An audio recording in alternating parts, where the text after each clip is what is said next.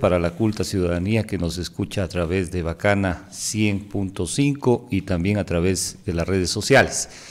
Efectivamente, eh, mi estimado doctor Freddy, eh, no se trata de tener problemas con una autoridad, sino se trata del cumplimiento irrestricto del principio de legalidad que es mandatorio para un funcionario público. Nosotros no es que hemos mediatizado un tema que tenía que haber sido resuelto, ¿no es cierto?, por los juzgados y tribunales de justicia. Acudimos a medios ya cuando tenemos resoluciones, tenemos sentencias de por medio. Yo quisiera primero empezar por el tema de la retención indebida, ilegítima y arbitraria de los recursos que le corresponden al Sindicato de Obreros Municipales de Loja y que son producto del descuento que se les realiza a cada uno de los trabajadores en su rol de pagos, el municipio actúa como agente de retención, es decir, simple y llanamente retiene esos fondos y tiene que pasarlos a su propietario, que es el Sindicato de Obreros Municipales de Loja. ¿Esto en razón de qué? En razón del contrato colectivo, en razón, ¿no es cierto?, de la aquiescencia o la voluntariedad de cada uno de los trabajadores de pertenecer a una organización sindical. Esto se ha dado a partir del mes de junio del 2022 en adelante. Es decir, al sindicato de obreros municipales lo dejaron sin recursos. ¿Qué hemos hecho al respecto? Primeramente, y por suerte nos conocemos desde la época de la Universidad Nacional de Loja, comunicaciones, señora alcaldesa, esto ocurre, la norma determina lo siguiente, el artículo 42 del Código de Trabajo determina las obligaciones del empleador y ustedes son empleadores. ¿Sabe qué? No tuvimos respuesta. En julio, nuevamente pidámosle, pues a lo mejor se traspapeló la comunicación, ocurrió algo. Silencio sepulcral. Una tercera en agosto, no pasó absolutamente nada. Entonces no es de que existen ciudadanos o abogados ¿no es cierto?, que lo primero que hacen es ir y plantear acciones legales para ganar notoriedad política, como muchas veces se dice, todo lo contrario. Incluso fuimos recibidos en comisión general ante el Pleno del Cabildo. El Cabildo conoce esta situación, doctor Freddy. Simple y llanamente no se dijo absolutamente nada ni se respondió en función de los justos pedidos del Sindicato de Obreros Municipales. A la larga nos correspondió interponer una acción de protección. En días anteriores tuvimos dos audiencias. La juez competente incluso solicitó información adicional al municipio de Loja y resolvió que se han vulnerado los derechos de los trabajadores municipales y de la persona jurídica que representamos, que es el Sindicato de Obreros Municipales, dándoles el plazo de ocho días para que cumplan. Ya han pasado creo que cinco o seis y no han cumplido. Entonces nosotros también tenemos ¿no? que en función de la seguridad jurídica que nos garantiza a todos los ciudadanos, interponer otro tipo de acciones porque parece que lamentablemente la autoridad municipal o no está bien asesorada o no hace caso a sus asesores. ¿Qué viene de aquí? Seguramente al cumplirse el día octavo la acción penal por incumplimiento de orden legítima de autoridad competente. Y el día de hoy también estamos presentando, en función de lo determinado en el artículo 331 y siguientes del Código Orgánico de Organización Territorial, Autonomía y Descentralización, COTAD, más adelante para esta conversación, porque es muy largo este nombre, ¿no es cierto?, la acción para que administrativamente proceda la comisión de mesa, una vez instaurada, a eh, agotado el debido proceso, ¿no es cierto?, disponer la remoción de la alcaldesa licenciada Patricia Picoita Studillo por incumplimiento de funciones. Así de simple, las cosas en derecho, no es que estamos con un asunto que ahorita lo traemos a la palestra pública, lo estamos haciendo público a través de Bacana, pero es importante que usted conozca el antecedente. Y esa es la una causal. Viene la segunda, son dos las que nosotros estamos impulsando. ¿Cuál es la segunda? En el mes de eh, mayo del 2021, bueno, a lo mejor la memoria me puede fallar, el, perdón, ah, gracias por la, no estamos tan mal, el Pleno del Cabildo resuelve entregar en comodato al sindicato de obreros municipales un inmueble para que construya su sede, porque de paso no tiene sede, un sindicato importante que aglutina a más de 900 trabajadores municipales. Mire usted, ¿cuándo resuelve el cabildo? El cabildo emite una resolución que es mandatoria para la alcaldesa. A la alcaldesa se le ha pedido la suscripción de las escrituras de comodato. De la misma manera, en más de una ocasión, ¿Sabe cuál ha sido la respuesta? Silencio sepulcral. ¿En qué manos estamos? Si eso lo hace, ¿no es cierto?, en función del sindicato de obreros con quien se entiende, debe tener una relación más o menos cordial para que caminen las obras en Loja, para que, ¿no es cierto?, el trabajador con gusto pueda cumplir las labores que le encomiendan en el día a día. ¿Qué será de un ciudadano común y corriente como usted y yo, que acudimos a la administración municipal con un pedido. Entonces, no hay respuesta para la suscripción del comodato. ¿Quién dispuso la entrega del comodato? La máxima autoridad que hay que recordar a algunos alcaldes. No es el alcalde, es el pleno del Consejo Cantonal como cuerpo colegiado. Ellos son la máxima autoridad administrativa, pero ahí quién determina las políticas públicas a través de ordenanzas, acuerdos y resoluciones, es decir, actos decisorios, es el Consejo. Mire usted ese preámbulo, quizás, y perdóneme que me haya extendido un poco en la primera parte de la entrevista, pero es bueno que usted conozca los antecedentes y poder entablar este diálogo con la ciudadanía. Claro, eh, está, está extraordinariamente bien planteado, doctor Jaramillo. El, Vamos a saludar al secretario también, Cristian Cango. Pero da la impresión que la, perdóneme el término, pero eh, es que no, no, no, no cabe. Pues que la señora alcaldesa ni se despeina con todas estas amenazas de, destitución, de presión, de, eh, procesos judiciales que, están en su contra, pues que ni, ni siquiera se da por enterada, Cristian. Me da mucho gusto saludarle. Buenos días. En primer lugar, este, mi estimado doctor Freddy, muchísimas gracias a usted, a Radio Bacana, a 100.5 y a todas las radioescuchas que siempre están pendientes del programa. Vea, realmente a veces es entendible lo que pasa con la primera autoridad municipal. Luego del fallecimiento del ingeniero Bailón, nosotros solicitamos, aquí está un fiel testigo, nosotros solicitamos una reunión de trabajo con ella porque en este caso nosotros siempre hemos actuado de buena fe, apegados a derecho y cumpliendo lo que manda siempre la, la, organización y sobre todo, eh, en este caso, el Ministerio del Trabajo, que es el ente regulador de las organizaciones sociales y sindicales, de los cuales el Comité Ejecutivo estamos eh, plenamente en funciones. Vea, desde esa reunión ya le habíamos planteado algunos temas. Y uno de los temas, no me deja mentir, eh, eh, el asesor jurídico fue incluso eh, que se dé continuidad a lo que es el, convenio de pagos del contrato colectivo. Y en ese entonces dijo que lo va a revisar. Oiga, no quise yo alarmar en esa situación. Revisar una sentencia ya no puede hacerse nada. Entonces yo me quedé un poco espantado en ese asunto por la falta de conocimiento todas maneras, eh, dentro de los temas, justamente uno de los pedidos fue la, la cuestión ya de la, de la suscripción del, del, de la firma del comodato del terreno para el sindicato de obreros municipales, que ya estuvo el 7 de marzo listo para poder ser agendado en, ese entonces del ingeniero Bailón para ser firmado. Pero lastimosamente hemos cursado comunicaciones, como les dije, desde el 28 de marzo, luego de la reunión que se tuvo con la señora alcaldesa, y no hemos tenido absolutamente nada de respuesta. Entonces yo creo que no es eh, que está haciendo un daño al comité ejecutivo que estamos por fenecer, más bien es a todo un conglomerado de trabajadores y sobre todo también a, las familias, porque este proyecto es, va a ser algo íntegro, lo habíamos explicado la vez anterior con el profesional que lo lleva, que es el proyectista, el arquitecto Henry Carrión. En ese sentido, vea, justamente, no solamente tiene esta negativa con la cuestión de la sede del sindicato, sino va más allá. ¿No es cierto?, a meterse dentro de la organización sindical y sobre todo reteniendo sin son y por qué las cuestiones de, los recursos de, la, de, los trabajadores.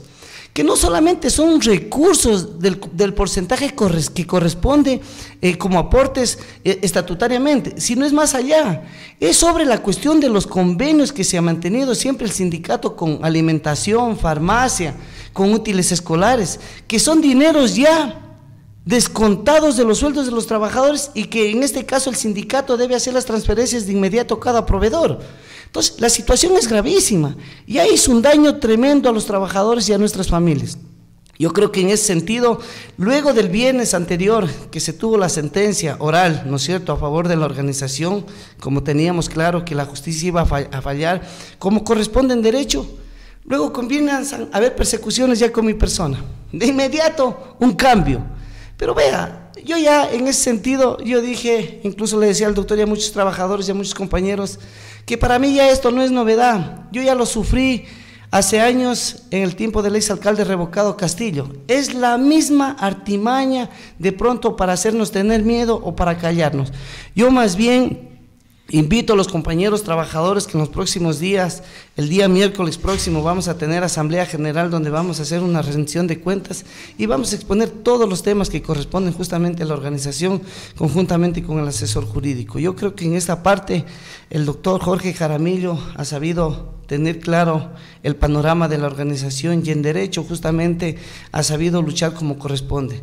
Nosotros ahora lo estamos haciendo pública porque ya realmente es, esto se salió prácticamente de las manos. Yo creo que ya no es justo que se sigan pisoteando los derechos de los trabajadores. Ahora, eh, tome en cuenta que estamos en tiempos de, eh, de, elecciones, estamos en, en campaña y usted está apoyando abiertamente a un candidato a la alcaldía y por ahí viene a lo mejor también alguna ah, retaliación.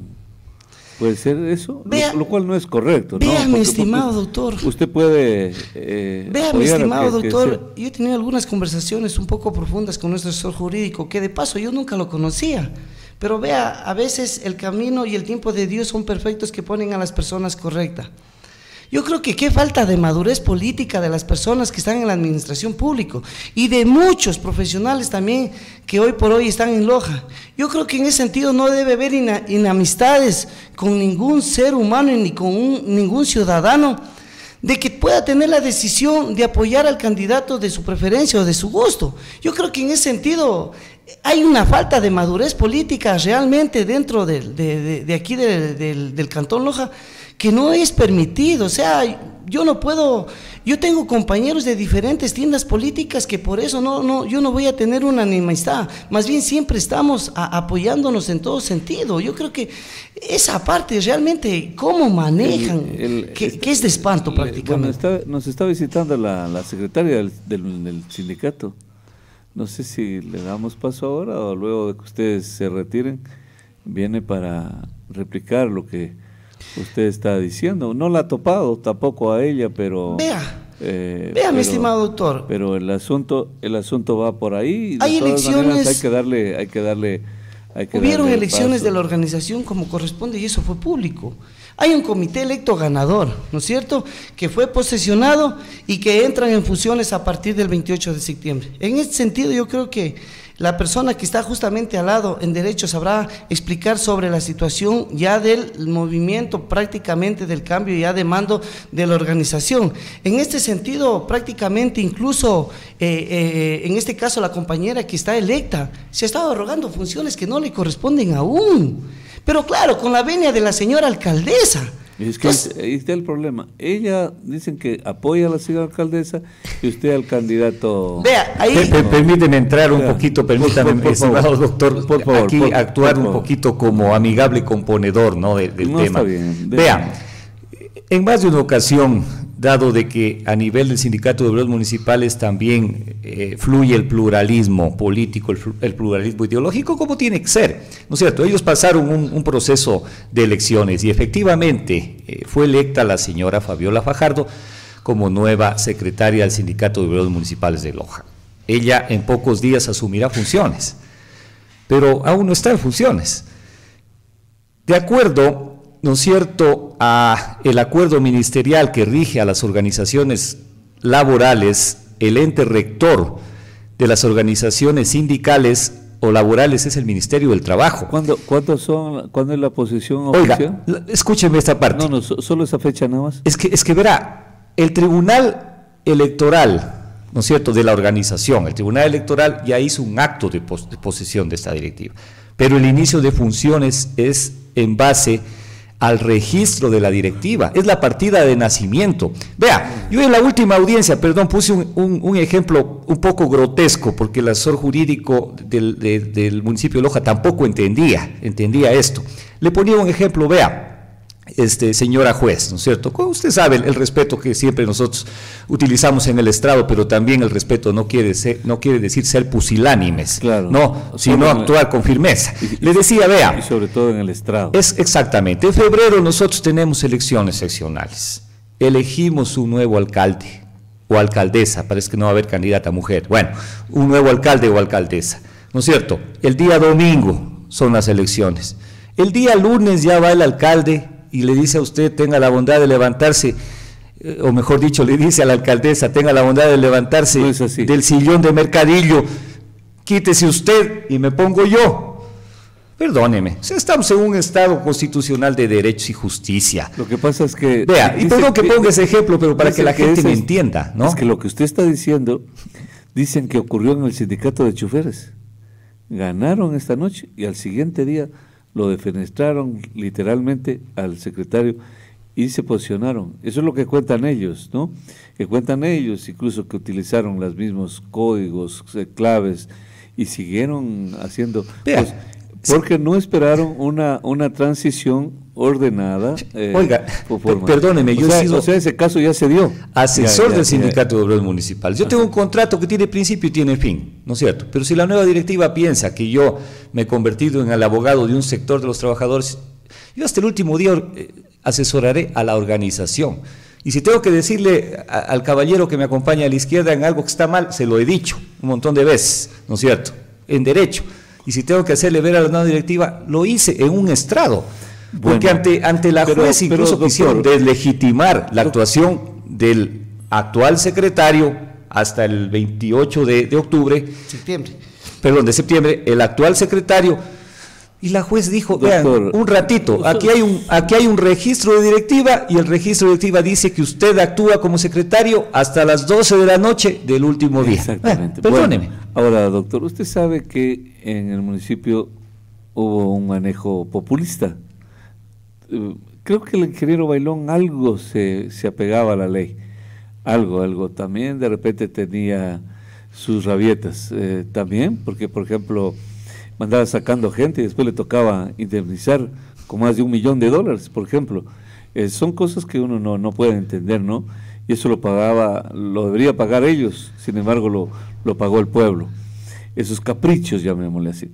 Entonces, doctor, nos estamos acostumbrando en Loja al populismo, a transgredir la ley una tras otra, eh, pero ¿qué, ¿qué, se puede hacer? Entonces, por ejemplo, ahora queda claro que esta eh, tardanza es hasta que se posicione la nueva directiva o no? Hasta que tengan la eh. inscripción en el registro, porque esa... No, no, no, no, de parte de ellos. De parte de ellos. Me, refiero a que hay, ahí hay un manejo político, entiendo. Ah. O sea, esa es otra cosa. O sea, lamentablemente también, incluso, mire, la autoridad municipal, con todo el respeto que se merece, pero tiene prohibición expresa de interferir en asuntos, eh, expresa en la ley, ¿no? Interferir en asuntos internos de la organización. Claro. Y ella lamentablemente tomó partido en, claro, el asunto. No, toman partido, son, gente política. Claro, entonces en realidad... viven de eso, pero eh, doctor o Cristian, no sé si cualquiera de los dos, ojalá la última pregunta para darle paso a la, a la secretaria eh, electa. electa. última pregunta. ¿Hay una amenaza así de, de, de, de medidas de hecho o no? Aparte del tema legal que usted lo, lo, lo ha presentado bien, ¿no? O sea, usted se remite a eso y usted no tiene, creo que, nada que ver con, con eso, más que con el tema legal. Cristian, ¿hay una posibilidad de una amenaza inminente o no? Vea, mi estimado doctor y ciudadanía, justamente nosotros, eh, cuando sucedió ya el fallecimiento del ingeniero Bailón, una de las situaciones importantes que siempre ha sido por, por parte del comité ejecutivo y la organización es agotar lo del diálogo. Usted recuerda que incluso por hacer manifestaciones, por hacer eh, de pronto este, paralizaciones eh, por, en momentos cuando no nos cancelaban. Incluso yo por parte del ingeniero Bailón recibí, y aquí está el, doctor que a la final tuvo que acudir a la defensa, recibí una demanda por una demanda penal, ¿no es cierto?, por organización, delincuencia organizada. En ese sentido, vea, justamente nosotros habíamos con la nueva autoridad municipal nunca nosotros hemos tenido confrontación alguna. Que fueron coidearios. Me refiero, me están recordando ahora, y está bien, que tanto el licenciado Franco Quesada, a quien usted respalda en la candidatura a la alcaldía, como la alcaldesa en funciones, ambos fueron electos concejales por democracia sí, por la misma organización política. Nada más, eso es lo que siempre les venimos diciendo aquí, que los amigos de ayer, los coidarios de ayer se vuelven archienemigos eh, al siguiente día, ¿no? Entonces, fíjense ustedes, no son, no son extraños ustedes, vienen de las mismas entrañas de democracia, sí. Sí, realmente yo creo que eh, eh, en lo personal siempre uno se va aprendiendo muchas cosas y la vida le va poniendo a, a situaciones, pero yo creo que en ese sentido justamente con con el asesor jurídico, con los compañeros del comité ejecutivo, eh, realmente vamos a ver algunas situaciones, lo que nosotros simplemente, ya los daños están hechos, ya prácticamente, pero va a quedar marcado en la historia de los trabajadores, que realmente esta autoridad municipal mm, eh, realmente ha sido una de las personas que ha tenido un odio con los trabajadores que, ha declarado un odio así, no al secretario general, sino es con toda la organización. O sea, ¿a dónde, eh, ¿a dónde manda tanta, mal, tanta maldad? Porque realmente la organización ha venido trabajando conjuntamente con el municipio de Loja de una manera armónica, fluida, pero para nada. Yo creo que en ese sentido nosotros tenemos claro, vamos siempre a luchar en, derecho como corresponde. Doctor, nos despedimos con usted también. Doctor Freddy, cordialmente y gracias por permitirnos llegar a la ciudadanía a través de este importante medio de comunicación.